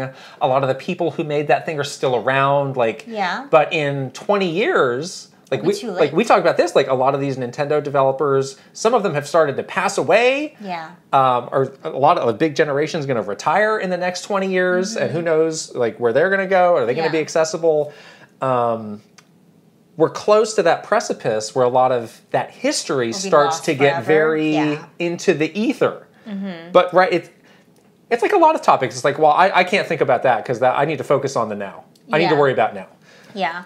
The yeah, the interesting thing about, you know, video games not seen as a legitimate art form or part of like a- as legitimate as like film or or um, literature or whatever is really interesting and I think yes, the the newness of the industry has something to do with it, but I, I don't know, I feel like there's something else there that is a mental block for people yeah um, to really see video games in this way. It's a form of entertainment, like everything else that is considered an art form. I mean, I'd like to know, using their example of libraries, like, so what what was the path to getting movies in a library? The path to getting music in a library? Because obviously, you think of a library. This is for books, Yeah, but those things are there, right. and those movies and music are like really like on top of their stuff. Yeah. So it's like, what happened for them to eventually get over that hump? Exactly. And how can it again like can you take that same path with this, or does it need to be something totally different? Right. I don't know. I think it's definitely part of like the you have to get the industry on board to Right, do it. You know, right. and film I think is a much tighter industry versus gaming. Yeah, you need to find like I, I think like like who are the real like decision makers in the industry who could have a strong voice in this. Um, you know, I, I go to like a Phil Spencer who does seem to really like truly care about you know these sorts of topics. Unfortunately, they're the platform holder. They're the newest platform holder on the blog. They don't really have like. And they can't say like, and today we're making, you know, X of it. I guess they could do that for like original Xbox games. It doesn't hold as much weight, I think, as you know, if a Nintendo did it or, or some other Right. company did it. That have like a more But you kind of need History. somebody of his level to be like, I'm doing this. Get on board yeah, or deal with everybody it. follows suit. Right. Kind of. Because yeah. the ESA clearly is not going to do it. You need one of those people who is on the ESA board to put the foot down. Yeah, and I think if they did that, the ESA would just follow and support. Right. Yeah. But it is such a, uh scary discussion to have and something to think about because I think when people start to finally care, if ever, it will be too late. Yeah. And yeah. a lot of this will I mean, and sa- sadly, that is kind of human nature, which It's is like totally you, true. you It's so only start to care when it's a real problem. Yeah, and, and when it might be, you know, too little too late for you to actually make an impact. Right. So, yeah, it's unfortunate to think about that because you know you have so much of that rich history, um, especially in the sort of the time when video games were really being developed. Like, you just didn't have those types of like you know ways of, that we can preserve things now. You know, like cloud storage and all that kind of stuff. S- every- Everything's very physical. Yeah, it's like yeah. literally like we joke around, but it's like literally in somebody's desk somewhere Right. and if that's gone it's it, it's gone forever you know And that's part of why my my feeling on this stuff now is like I will, I will never get rid of any of this stuff because it's like I everybody become a pack rat there's clearly just like no no prioritization of this sort of thing. So like worst case scenario, it's like well at least I'll have this this cartridge which I can figure out something to do with. Wor- Yeah. Worst case, uh, because I just don't have a lot of faith in it. So yeah it's a big story. I'm glad this got out. Um, I'm glad a lot of people are talking about it. Hopefully, it gets more people talking and, and you know can bring visibility to this. Yeah, totally. Yeah. Next question. Interesting potential solution to this problem. Yes. I was, I was very excited about this. So, Digital Eclipse, um, which is the studio, who actually is in the same building as, As- the, we learned this perfect. as the They're Video Game History. Foundation. Uh, they have announced a new thing called the Gold Master Series, which so remember last year they did the Atari 50 collection Yeah, which is very well done. which was basically an interactive documentary Mm-hmm. about Atari. Like you, you watch interviews, you learn, you see the materials, you learn about the game, and then you play the game. Um, so they have started to their their idea with this is we're going to do this for individual games. Mm-hmm. Um, the first game that they're doing is, is actually a game that I never played and don't have a lot of history with. I'm not even sure how to pronounce it. They kind of joke about that too. Karateka slash Karatika, whatever. I'm not going to say it again. Yeah, Karateka. Um, but it's a game by the guy who went on to make Prince of Persia, the original Right. Prince of Persia.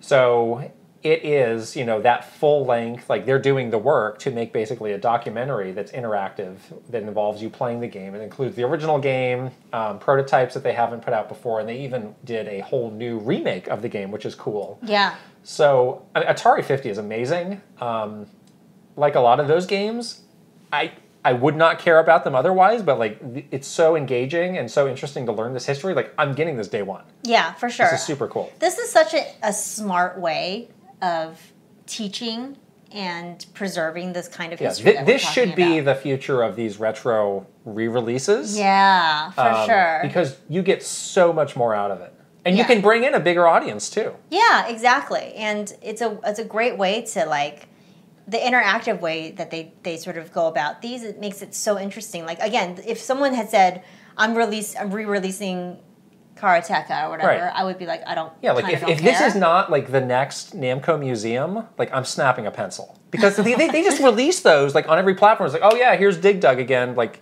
if, if you knew and you were there, great. If not, who cares? Deal with it. right, exactly. You don't have that context to make it interesting or relevant to you. Come on, Yeah. Namco. I'm excited about this though because I love Prince of Persia. I didn't I did not know at all that there was a game before Yeah, by the person that made right, it. So right. I'm So this is this is a really interesting trend. yeah.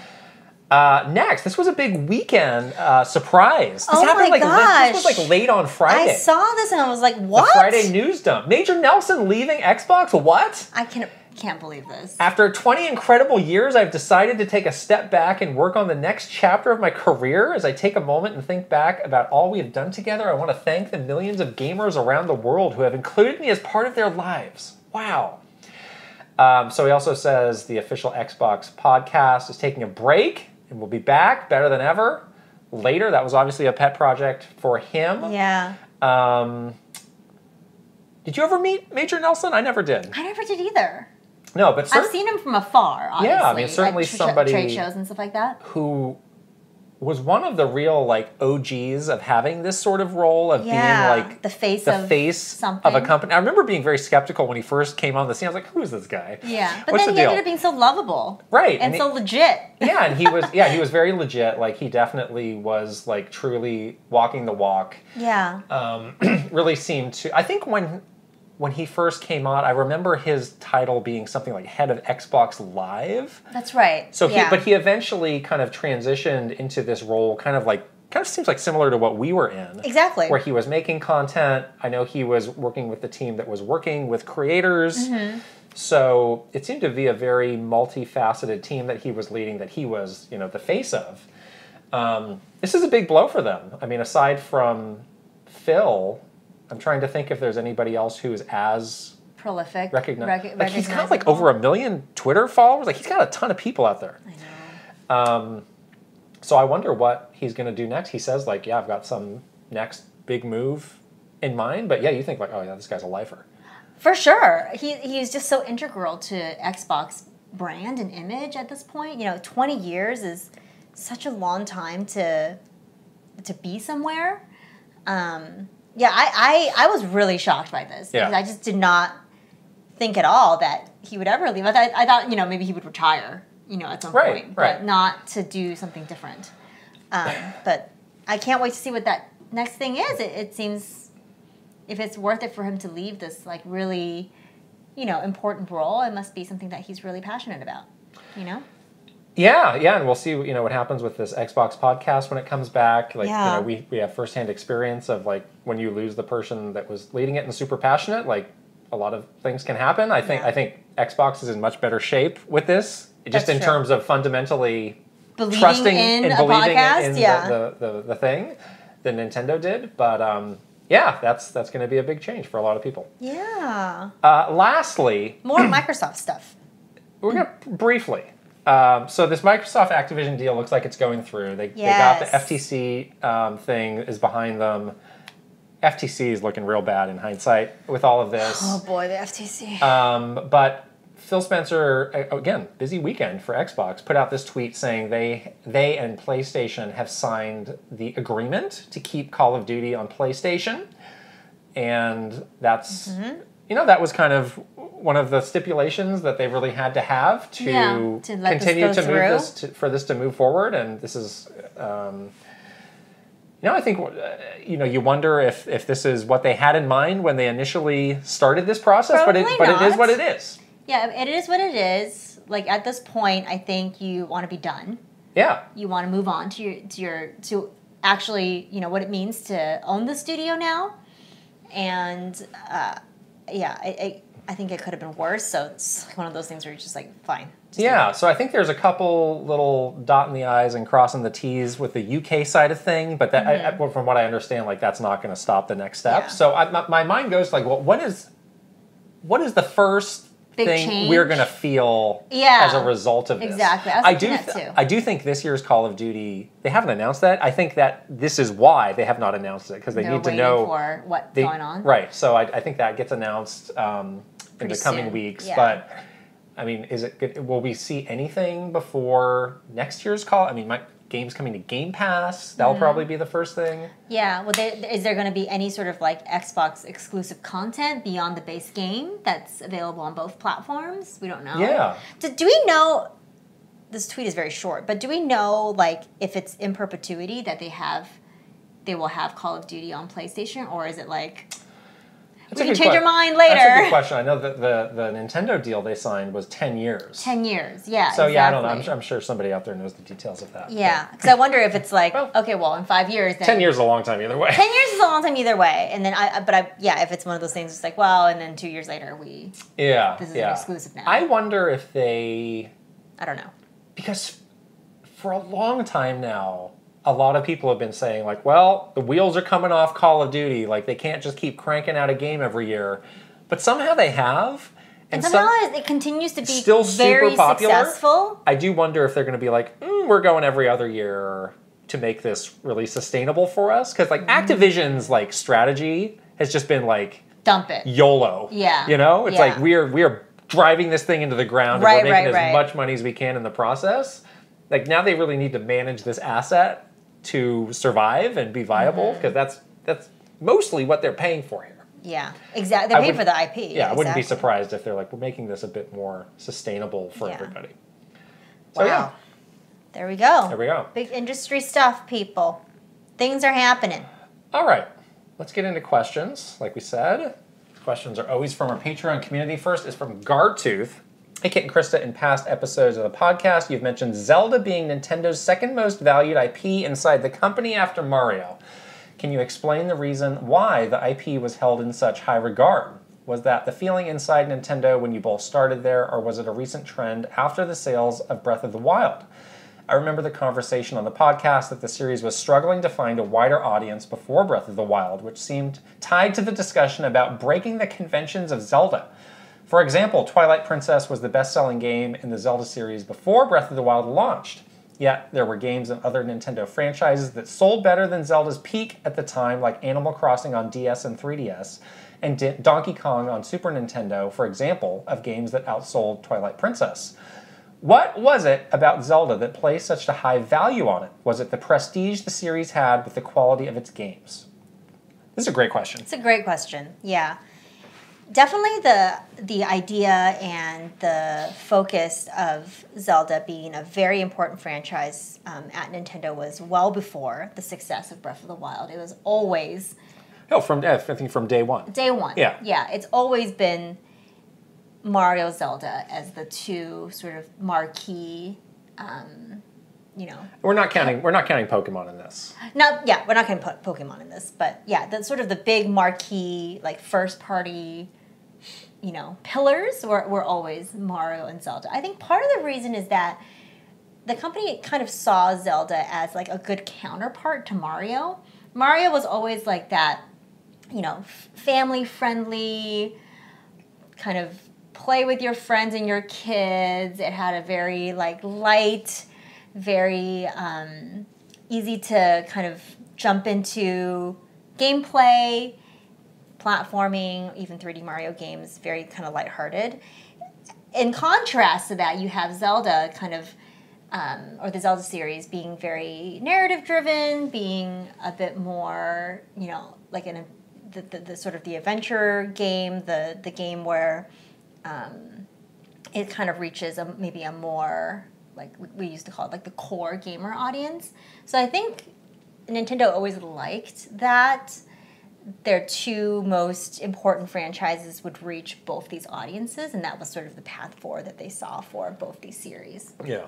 I think it's one of those series that even if the sales were trailing off, it's a series a lot of people knew of and had affinity for. Like you think of like, oh, what are the big um, NES franchises? Well, it's Mar- Mario and Zelda, and maybe a couple others that are you know, maybe no longer with us, Yeah. like, like a like a Mega Man or like a Castlevania sort of thing. Sure, yeah. So it always felt like it was just the right game away from having this huge Moment. comeback Yeah. and that's what happened like as, as we saw like it just took the right game to sort of ignite this passion around old people Ignite or reignite, yeah. original yeah Yeah. reignite right old you know old fans new fans everybody um, you know i think it being you know one of those original miyamoto franchises played a big role Mm-hmm.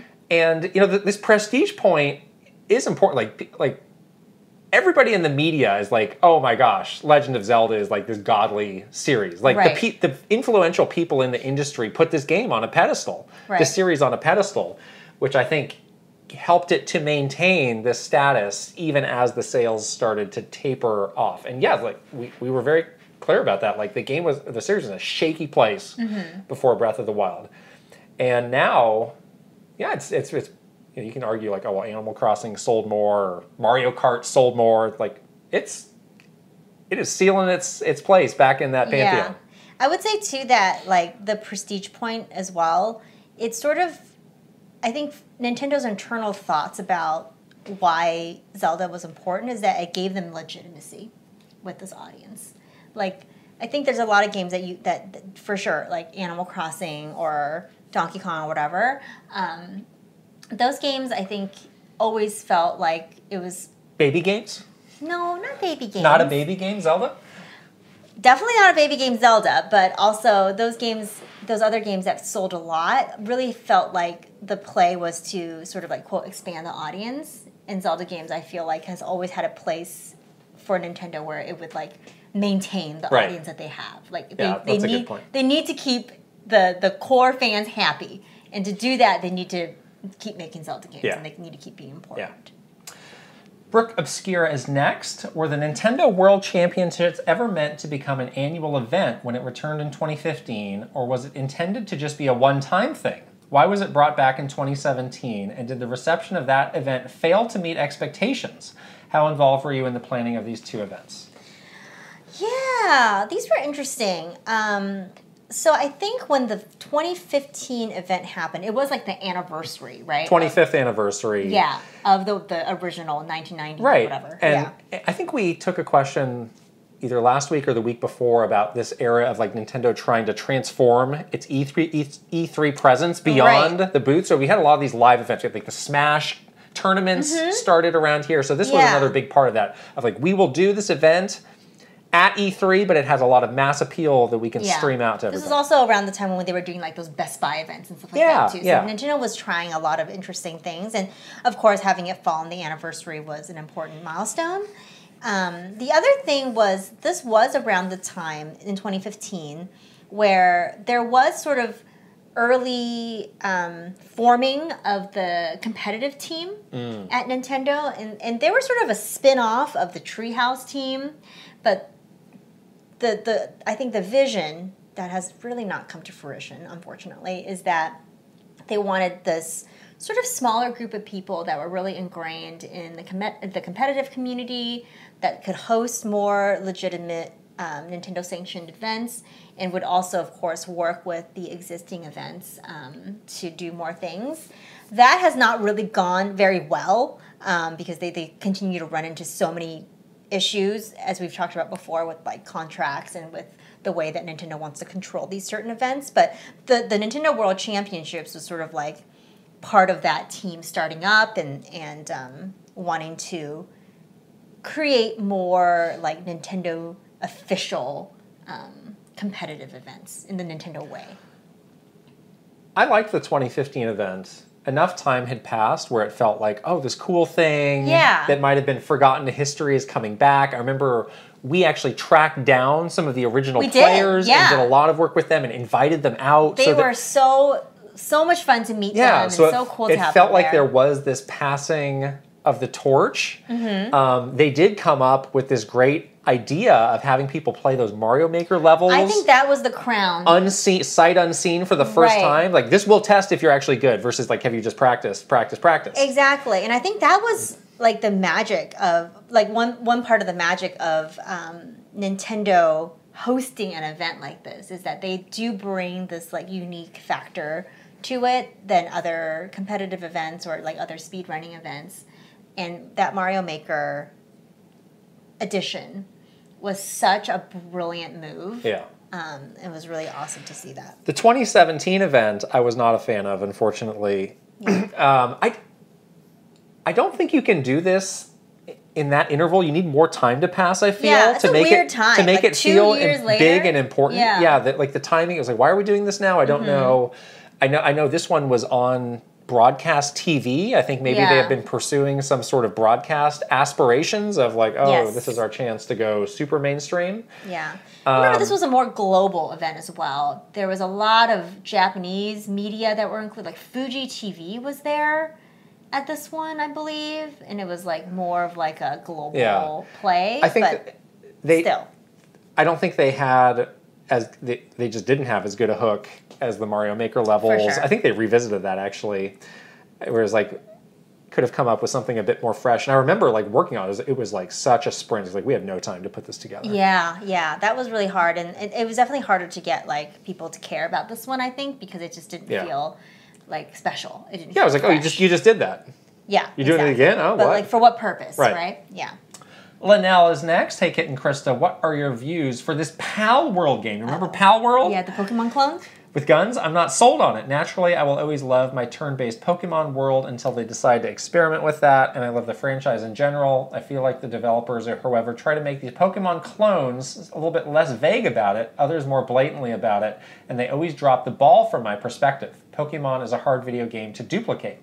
Maybe instead of trying to copy most of the formula and charm of Pokemon, they should try to create something that's as charming but different and appealing that really captures that fan base that they're trying to sell their product to. Thank y'all for hearing me out. Much love. Be blessed.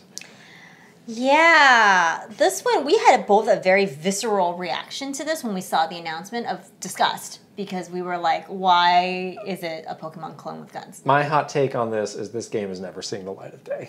They're gonna get We're, sued we are to never oblivion. we are never hearing from this game again. Do you remember a gonna few years ago there was another game that had this exact same reaction that Dokev v Dokev? yes, that one. It was like, the light of oh my did it? god, this is the new Pokemon. This is eating Pokemon's lunch. Have we have we heard from that game since? No, that game.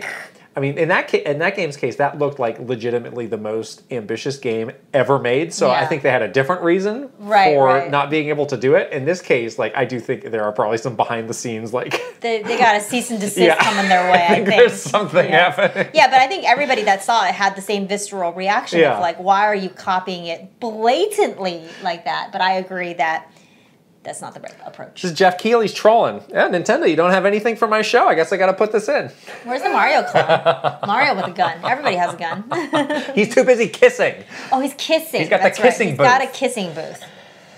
Marky Man 64 asks, I like collecting achievements in games that I play. It's not my main motivation for playing a game, but I do enjoy the challenge. It's a feature I feel Nintendo misses out on. I wonder if you know why. Is it another example of Nintendo not caring what the competition are doing, or was there ever another re- reason that you've heard? I do note that they're dipping their feet into it with NSO's challenges and wonder if this is something they consider for next gen. Ah, the achievements.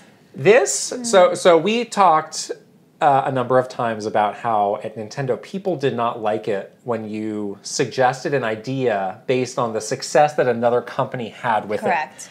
I saw somebody get so eviscerated in a meeting by saying like, "Yeah, I really like those Xbox achievements. Like, we should just do those." Like, this person got so like ripped to pieces because it's like we would never just Emulate Yeah, it's like we would find our own unique Yeah. way, the Nintendo way that would put the smile on the faces with the surprise have and to delight. surprise and delight the fans, and that's Right. not copying. like this was somebody this was actually my first experience of seeing that in action of like how strong the reaction against it yeah could be. Yeah, that's true.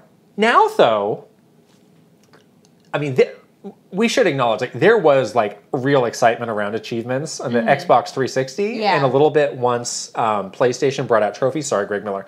Um, I feel like this is kind of a. I don't know how many people are as invested in this now. Right, right. I don't.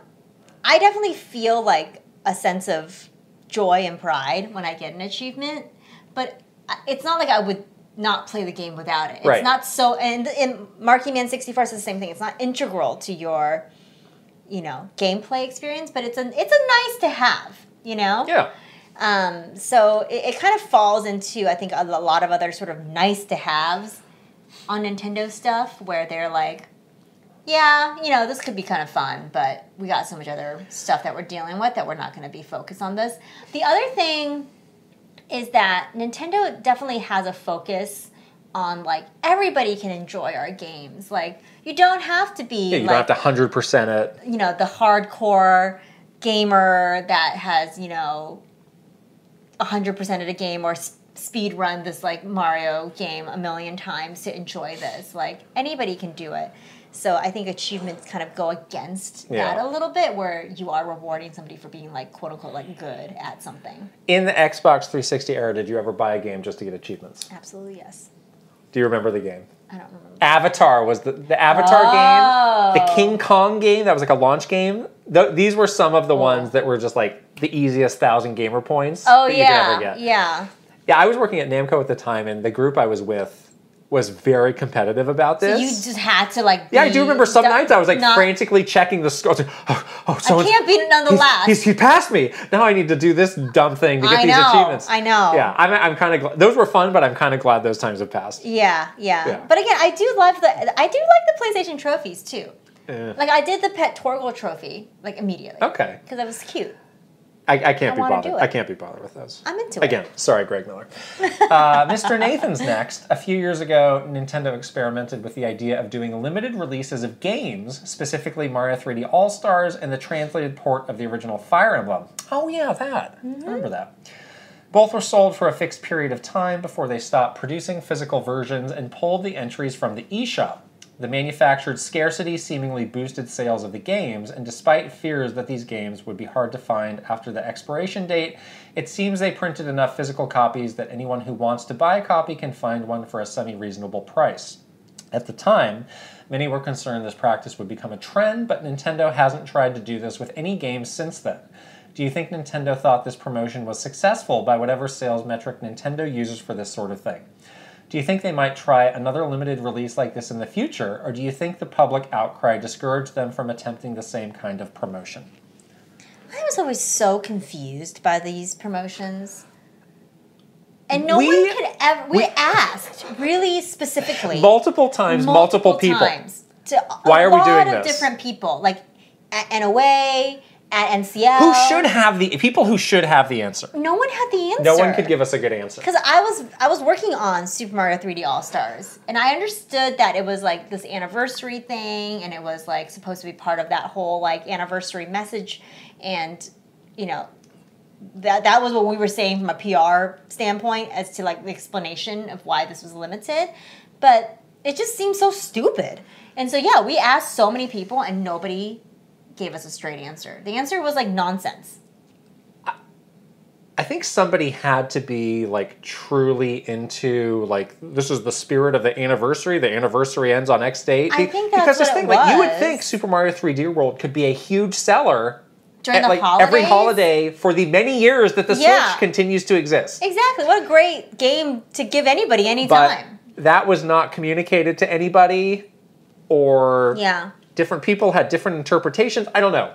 Never got a good, good or clear answer We on did. this. I mean, the anniversary was the only thing that we got as kind of an answer. But once we like went one step further as to Yeah. like asking why, It just like became it, gibberish. It was nothing. There Yeah. was no good reason. yeah. So who knows? Yeah. That's our answer. I don't. I don't think they were. They were galaxy braining this thing though. Yeah, please, please never do this again. I think that they Please were don't. totally like they like locked themselves into something and they Yeah. were digging their Or feet in. somebody like high up was like, "We're doing this. Don't question me about it." Exactly. That's what I'm saying. Like they Yeah. they've and they've dug their feet into it and now they're too prideful Right. to Admit go that it back was a the bad other idea. way. Yeah. So that that's the reason Yeah. why. And that's why we couldn't get an answer. But I think it's absolutely bonkers nonsense. Don't do that. It's dumb. Last question is from Zvroid. Hello, Kit and Krysta. From your time working at Nintendo, you must often have had to communicate with people on Nintendo's behalf for any number of reasons. Over the years, did you ever get a sense of what these various parties, such as developers, publishers, or media, felt about their business dealings with Nintendo? What was something good, which was generally appreciated when working with them, and what was a common gripe or source of consternation when working with them? I do think developers all said that Nintendo Switch was very easy to develop for. Right. And we always got like this huge sigh of relief all the In time. In contrast To Wii U? To the Wii U. Yeah, and people were saying like, "Oh my gosh, when we got the dev kit for Switch, it was like we were all just like jumping for joy because it was so easy and fun to develop for it." And I think that makes a big difference as to why the Switch's life cycle has been so strong as well because you do have so much great, you know, third-party um, indie indie developer support because the system is easy. Um, gripes from a media standpoint, I think you know embargoes were pretty complicated. There was a lot of kind of the embargoes sometimes got so long that they would be really confusing, and it's scary because as a person, a journalist, you don't want to break the embargo, but sometimes you just don't understand it, you know.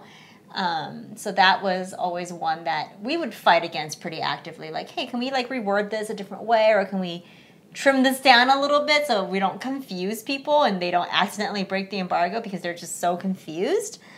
Um, that was always one that we we looked closely at when we got the rollout schedules and tried to make it as easy to understand as possible. Sometimes I would have a hard time understanding them myself. So Someone once said to me, um, Nintendo is the most type A video game company you could Yeah. ever imagine, which is very true. it's very true. Like they definitely know, like they are the big dog in most business relationships, and they act like it, which is Mm-hmm. Yeah. which is their prerogative. I sometimes I did feel bad for some of these companies that we were working with because it's they would tell you like, oh, this is the timeline, we have to follow these dates, or or we're in big trouble, and Nintendo's like, I don't care. we're not ready, yeah, deal with it. you Make it- deal with it or you we, we pull. make it work. Yeah. And there were a lot of situations like that, which Yeah. were tough because Yeah. I, and a lot of times we, true. like we were shooting ourselves in the foot too, being being the big dog. So Yeah. who's the Yeah. joke on? Who's the joke on exactly? Yeah, yeah, um, definitely. yeah, that that was my big big takeaway. Yeah. but I mean, everybody like was in the same sort of awe of like, oh my gosh, we're working with Nintendo. Like whether you're making a game that's on Nintendo or you're just like some random business partner, everybody Right. was like, People would just bend. everybody over back- signed up for it. Everybody would bend over backwards. Yes, please. To do whatever Yeah. you asked them to do, and sometimes I felt bad making the ridiculous Yeah, request, yeah. but I was only the messenger, and I, I tried to like, you know, be as helpful as possible to partners. But um, the response that we we'd always get from partners was like, "Okay, we'll do it." Yeah. I don't know if that's teaching bad habits, though. Probably is. But hey, until they're not the big dogs, they won't have to deal with that. So there you go.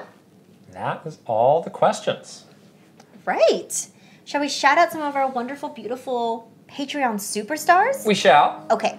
Aaron Hash, Ben Eichhorn, Maru Mayhem, Eigenverse, Kiss My Flapjack, Mike Chin, Mr. Rogers, Roy Eschke, Switching It Up underscore, Safazon, The Shark Among Men, VGM Life, Link, the hero of Winds, Angela Bycroft and her pig Molly, Turbocharged Nerd, Thomas O'Rourke, Kyle LaBeouf, Christopher Lara, Simon, Frederick Ulf Conradson, Andrew Uhas. Hooray! Hooray. Okay. Our One Up Club graduation service, here we go. A. Ron Burgundy, Adam and Ainsley. Ajan Malari, Ale Alejandro. Alexandra Pratt, Astro Dev. Bad Moo Rising, Ben GB. Bookham Dano, Brad SF56. Brooke Obscura, Brookie Kazooie. Bruce Dash, Chelly Squirrel. Christopher Lay, Captain Alex. Crimcat, C Roper 17. Daniel Gold, Daniel Phillips. Dogson, Dolce. Dino Punch, Elite Peach. Elix 780, Aspars 50. Farpree 69, Fairbound. Fernie and Jess Forever, Fox Deploy. Fred Rossi, Garrett Hullfish. Garth the Wolf, Gartooth. GSEN 101, Ian Shea. Isra- Iris Marin, Jay Rando. Jabroni Jones, JBJ. Jeffrey Hernandez, Jerry 92602. Jesse Hernandez, John Respante.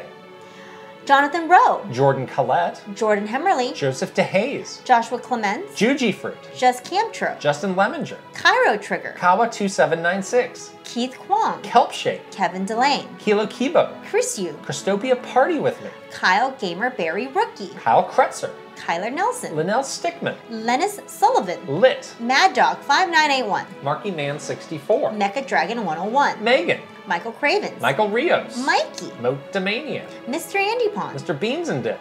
MSM Poke Gamer, My Train. Nasir, Nathan Burkhart. Nick E, Ninja 11. Panda Buns, Pangy. Paul C. Pace, Paul Gale Network. Prime Factor, Prince Charmless. Raver, Rain Tech. Renee Rivers, Ryoth 1. RJ Kern, Rob Osborne. Rocks, Rianetta. Sam Nealon, Sharif Jackson. Shinryu, Slowbro. Shrews, Silly Ferret. SJ Sharky 777, Spicy Munchkin. Steel Strone, Tales of Link. Tech Magic, Terra Storm. Thomas Alvarez, Three Rivers. Topher Schmofer, Travis Torline. Tugs Puppy Bear, Tusku. Tyler Geis, Fast Fast. Video Game Stupid, Virid Ian. Virtual Bot, Weeb Kingdom. Wicked Davy, Will Johnson. Zoodiverf, Zelgarod. Zapatty. And Zroid. All right. Whew. There's one that's rocketing up my list of most fun to say. Just Mm-hmm. Pangy. Pangy. Pangy. I like Pangy. I do like Pangy. I still like Bookham Dano and Topher Schmofer. There's a lot of them. Good ones. There's some good ones. Um, all right. Well, if you want us to read your name, don't forget to subscribe to us on patreon.com slash Kit and Krysta. Lots of other benefits there as well, including our bonus Q&A that we do every week Check with them the out. juicy, juicy questions. If you are watching this podcast on video, you can subscribe to us on YouTube, uh, Kit and Krysta channel. It's where you're watching this right now. You can leave us a comment and also give this video a thumbs up.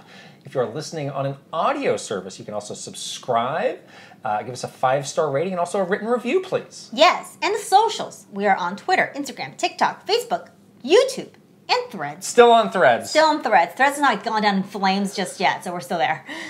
Good stuff. Um, another wonderful podcast in the books. The AC has been working. Rate We your are- performance in this podcast. We are not sweaty. A plus. Whoa! Rate your performance. okay. Uh, a minus. minus. A minus. Oh. A minus. Oh, A minus. All right. We'll talk to you guys later. Bye. Bye.